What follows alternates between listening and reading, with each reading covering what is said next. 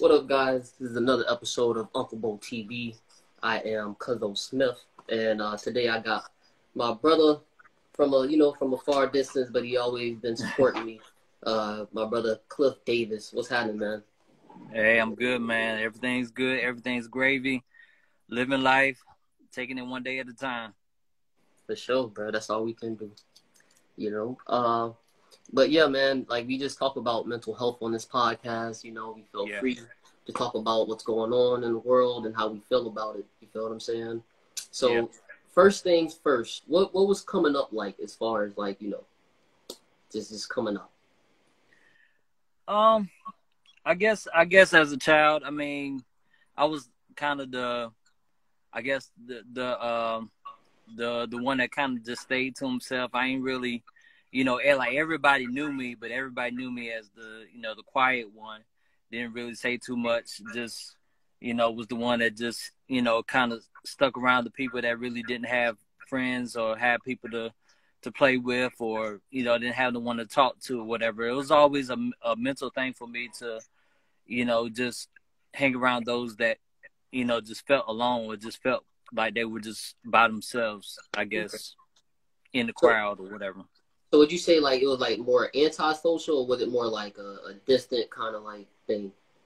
it was more of a distant and i think it was more of a distant because um you know there there are people you know even today there are there are kids out there who just feel like nobody cares about them they feel like um they are by themselves that you know there's nobody in the world like them or another kid like them that share the same interests or the same same uh qualities.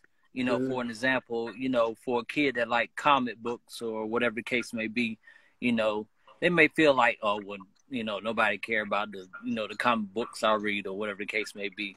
You know but i feel that i've always felt like there's always somebody out there for somebody else. You know there's always somebody out there for somebody so you know you're never in this world by yourself there's a billion people in the world but there's always somebody for you you know Yeah. whether friend whatever it is you know Right. there's always somebody out there for you Okay. Okay. So pretty much you'll say you're you're more the advocate for that person who feel like they don't necessarily share the same uh aspects or desires as everybody else. You know what I'm saying?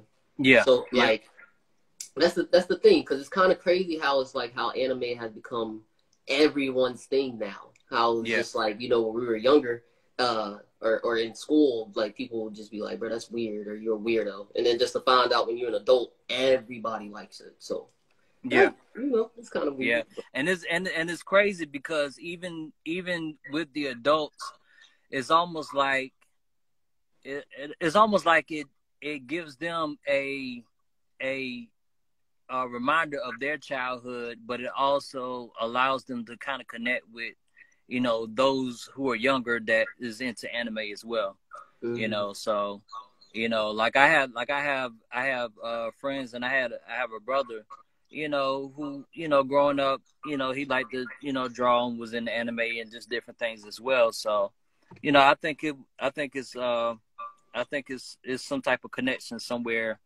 you know within that that area that arena so Oh, okay, awesome, awesome. And I love the fact that anime has helped, uh, you know, uh, a lot of different cultures connect in a way. You know what I'm saying? Mhm. Where it's just like, uh, uh, uh, it- it's kind of that dog on wi-fi man yeah.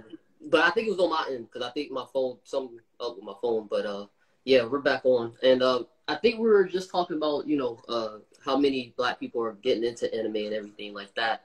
And I think that's uh, a perfect subject to really like focus on at the moment because uh, at first, like you said, it, it it's a thing where we grow up. You know, what I'm saying we kind of distant because you know we're on to this uh, this thing, and anime was most of the things that that you know kept us a little bit on the on a good spectrum. You feel what I'm saying? So yeah when I when I say that, it was just like seeing how anime became everybody's go to now.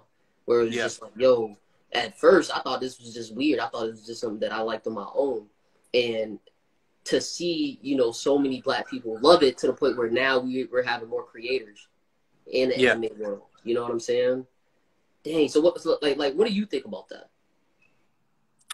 Um, I think it kind of gives them. I, I think it kind of gives everybody an opportunity to uh, really just express themselves, um, and really, really be creative. Um, you know, when I first um, looked at the, I guess the idea of anime, I you know I didn't really really know know what it was. Mm-hmm. I mean, everybody knew about you know Naruto and all these other you know different uh, cartoons and stuff, but I think it kind of gives you an uh, uh, uh, opportunity to really connect with other countries as well, you know, and you know how they are in, in, in, in different countries and so forth and so on. So yeah, yeah, yeah, because it's it's it's bigger than just you know us like an anime. You feel what I'm saying?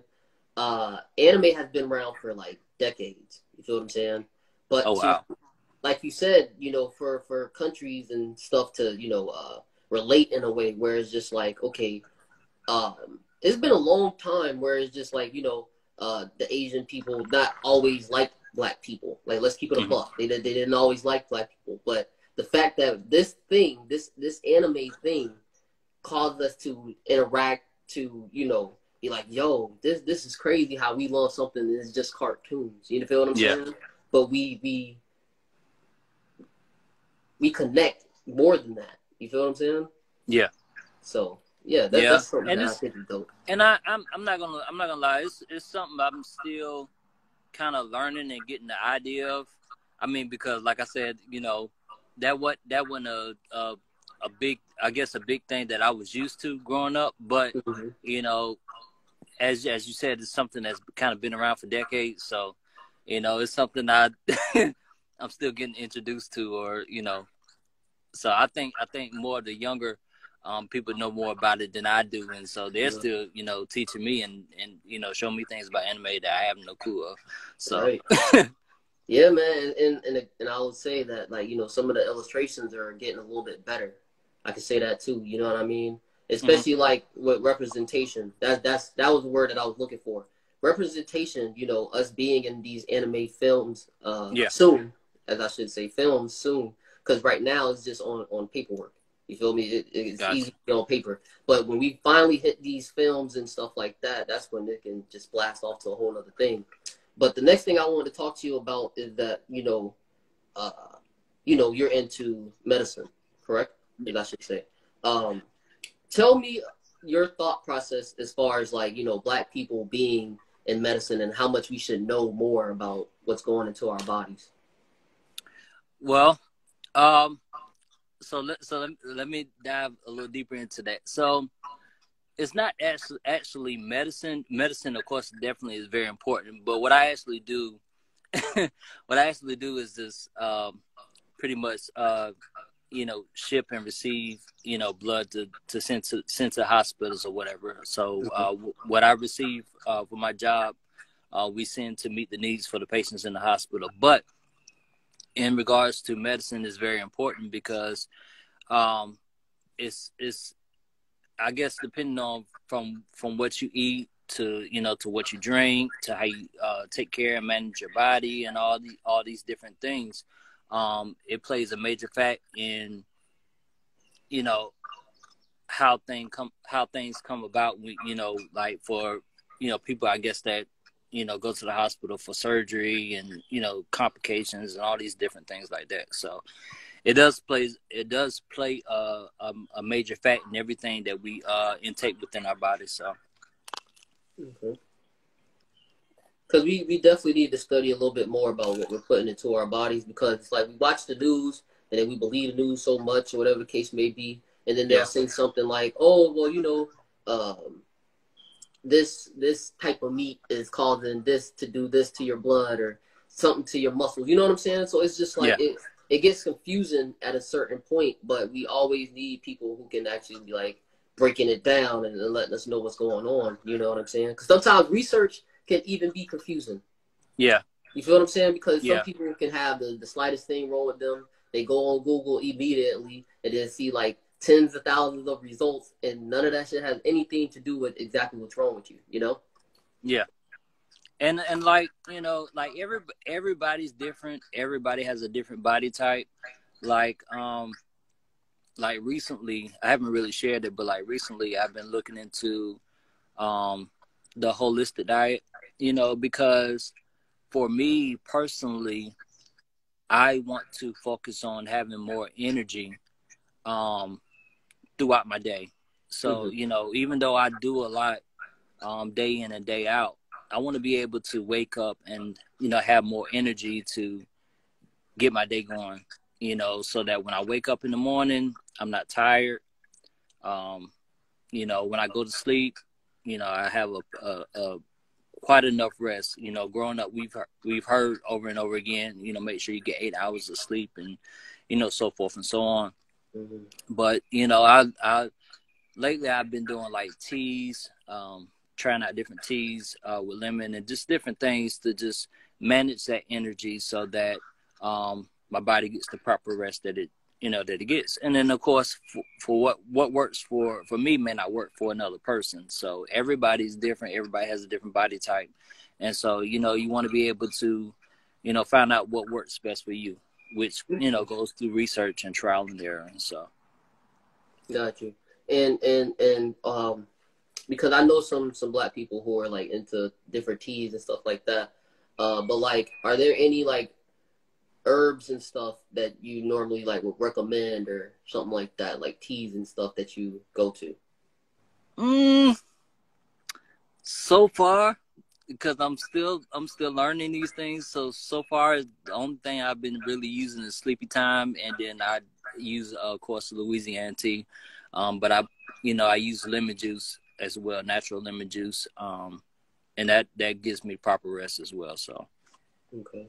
Yeah, because people need to people need to know these things. You know what I'm saying? Yeah. Because I see, uh, you know, a lot of people wake up and they're just groggy, bro. Like just, you know what I mean? And yeah. um, it's like, yeah, of course, you know, you think that you can get your sleep, but I didn't know that there were certain things that you can, you know, drink yeah. before you go to bed that'll actually help you out. So it's like little things like that was very helpful that we don't know. Now, I will say this with anything, stress is stress is such a big factor in um just in everyday life and health um with just with everything like you have to I, I feel for anybody they have to find a way to um learn how to manage stress you know uh which goes into mental health you know. So if it if it means taking uh taking time out to write in a journal, you know, talking to someone, you know, even if it's on a daily basis or, you know, just having somebody, you know, to talk to, like you cannot you cannot stress day in and day out and keep it to yourself. Like you have to be able and willing to be able to express to somebody so that they can help you understand, you know, what you're going through or, you know, help you figure out, you know, how to overcome situations or whatever the case may be.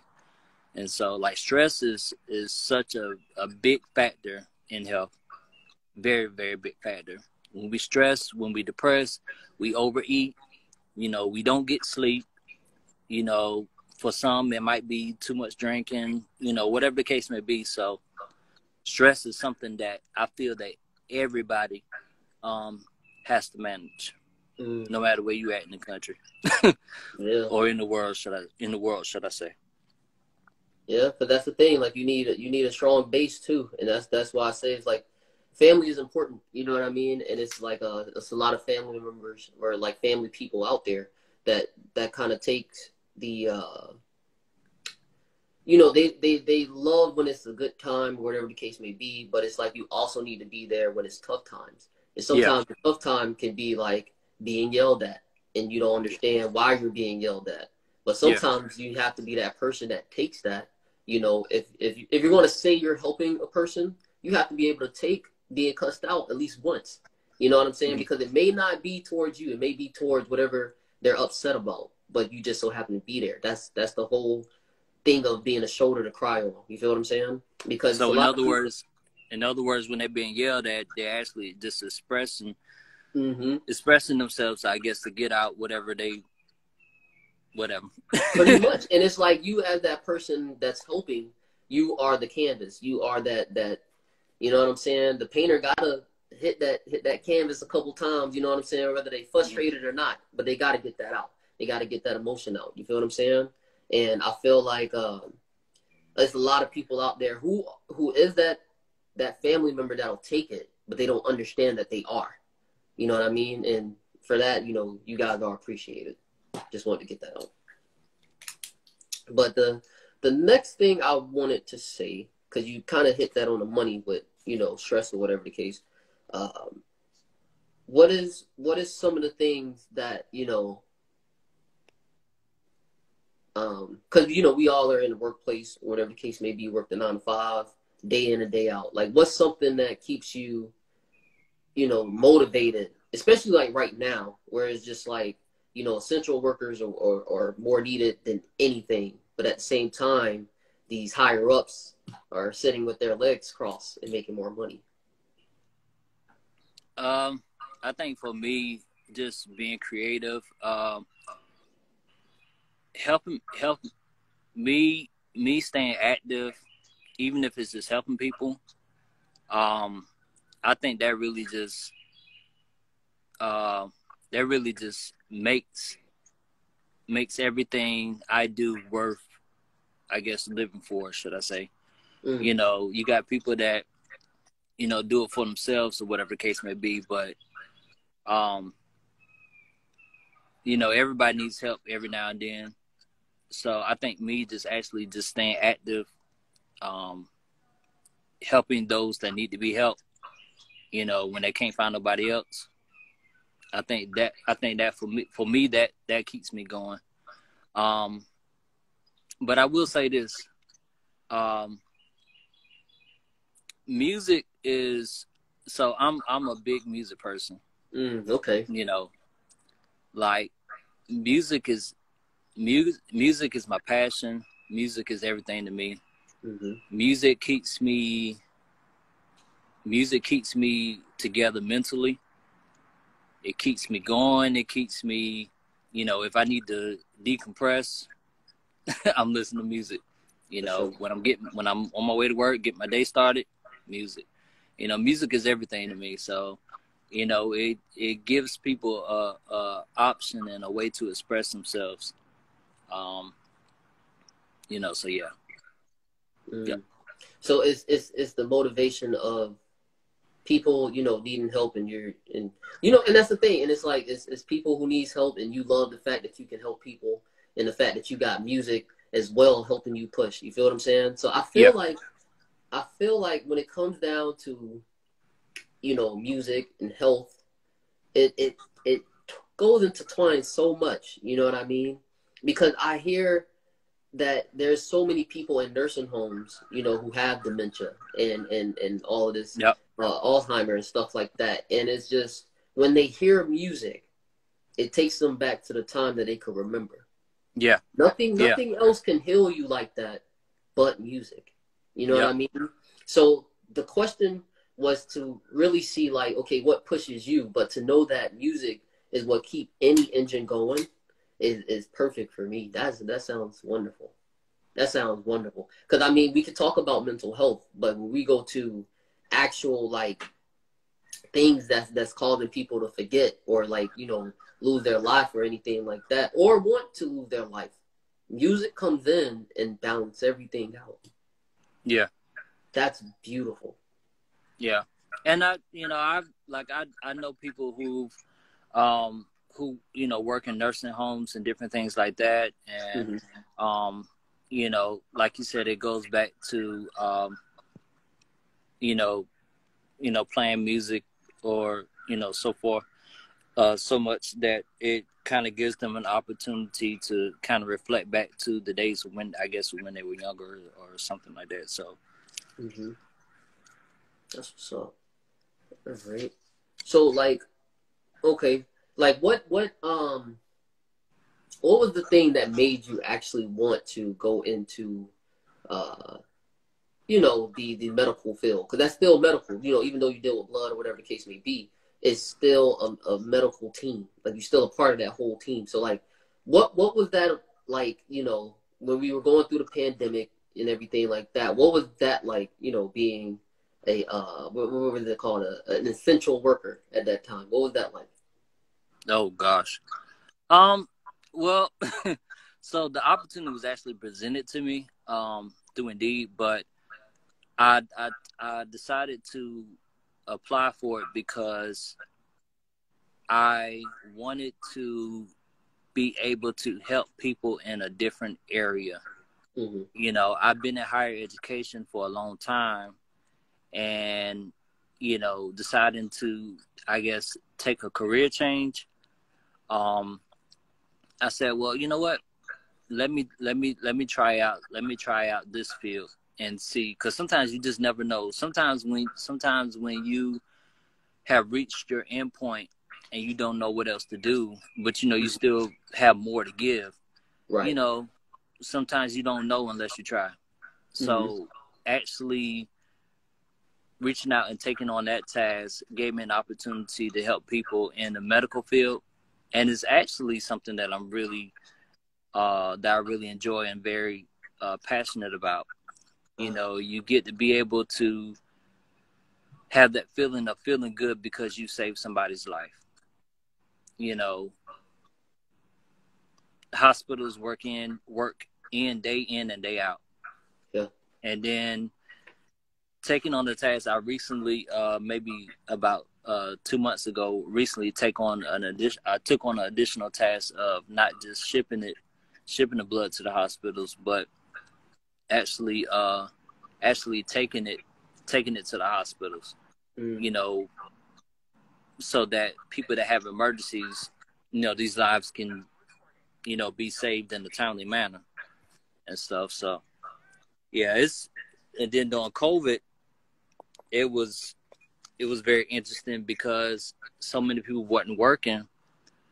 Um, but we still had the opportunity to save lives, you know, where we could. So, right. sorry for the noise in the background. Oh, you good? You good?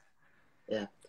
Um, but that's that's it's, it's awesome to to continue to be motivated to do your thing because like I understand how overwhelming that it was where people could have just easily be like, you know, screw it, it's too many people, it's too much, you know, and it and it's very um it's something to me because it's like, you know, we live in a country where there's so many people who are just so damn selfish, you know and it's dope that we get like this two percent of people in America who chose to just be like, you know what, screw it. I help as many people as I possibly can, and that is that's wonderful to me. You know what I mean? Um, but yeah, I mean, like I, I don't want to you know take up too much of your time, but uh, good.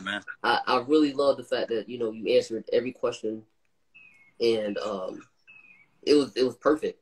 So uh, I want to say thank you for even taking the time out to talk to me. You know, hop on the podcast. Um, but but yeah, man. Um, my last question to you is, what is your thought process on how mental health is moving? You know what I mean, as far as like a whole movement right now, uh, for people to actually be okay to feel their feels. Like, what's your thought process on that? I feel that I feel that more opportunities are needed I feel that more opportunities are needed because, and I, I say it, I say it for for this reason. For the cases, for all the stuff that's going on in the world now, I feel somewhere in that in that arena, somebody wasn't there for that for for for whatever uh, for the particular person. You know, well, let me say it like this: a lot of times when you know when cases happen with these these uh you know mass mass uh, shootings and stuff like that mm-hmm. when i see when i see stuff like that i think about the person i think about their life growing up mm-hmm. i think about you know whatever the struggles is that they got going on whatever the case may be right and the question and and the, and the question i ask and the question i ask is was somebody really actually there for them, or did they actually get the help that they you know that they that they needed or whatever the case may be. So, um, so yeah, for mental health, I feel that in today's society, it's very very important that more opportunities are presented. mm-hmm. so that everybody that needs help could get the help that they need. Absolutely, and and that's the thing because it's like at this point we can't we can't call people weirdos because they don't know how to feel their feelings. Yeah. You know what I mean? Uh, yeah. Instead of calling that kid in the back of the classroom weird, how about you go sit back there and talk to him? Yeah. You know, before he grows up to be yeah. the next shooter. So uh, that's kind of, you know, that's pretty much where we can just end off because it's like at the end of the day, that's the last thing that happened. That's the best way to actually look at it as far as, far as further, you know, sense because it's like, of course, it kind of looks bad for everybody to run towards, you know, the mental health aspect when there's a killer on the loose. You feel what I'm saying? I get it. But at the same time, we have to be realistic. We could have nipped that in the bud earlier in his life. You yeah. feel me? And, and, and that's the thing. It's just like, um, I just really wish that, you know, we take kid problems, youth problems a little bit more seriously. You feel yeah. me? Like even though we're adults and we're dealing with bills and government and all this bull crap, this kid yeah. is dealing with stuff, you know what I'm saying, at the age of eight, nine, ten. Yeah. You know what I'm saying? So start asking these kids questions. So Yeah. Yeah, so that's out, yeah, definitely definitely find out definitely find out where their where their thought process is and instead of instead of saying, you know, instead of looking at them and and like you said calling them weird, weirdos or whatever, you know, find out who they are as a person because sometimes they they may not know who they are as a person they might they might feel that you know that they don't matter right. and so but you know once they once they realize that they matter and that somebody really cares about them you know then it goes it goes a long way yeah. you know everything that somebody says everything that somebody says um to a person at the end of the day you know when they're going home because you never know what a what a person's home situation is you know, right. they could they can go they can go to school and you know be one way, but when they go home, it could be a totally different. You know, they don't know what you don't you never know what they're going home to. So you know, and it, and life is already stressful by itself. You know, yeah. especially adult life. yeah. But you know, you know, actually sticking by their side and actually checking in on them. I got brothers that you know that check in on me and you know just make sure that I'm good, and it goes a long way. You know, yeah. I got you know my parents and everybody. So you know, yeah, is is very very important that we actually not just look at the crowd and and talk to the crowd, but we talk to those people, you know, that are on the side, you know, that feel that they're by themselves and stuff. So, right, because you know, like um, having people who are in your corner who'll just check up on you for free ain't nothing better than that, you know. yeah. So, man, thank you so much for hopping on, Clif. Man, I couldn't I couldn't appreciate you more for everything that you do you know, as far as, you know, being with the health, um, I can't even think of the word right now, but just, just being in that, in that health category, I appreciate everything that you do. Uh, yeah, man. So I've been CuZo Smif. Peace and love. Thank you guys for tuning in to Uncle Bo TV. Peace. All right. Yep. Yes, sir.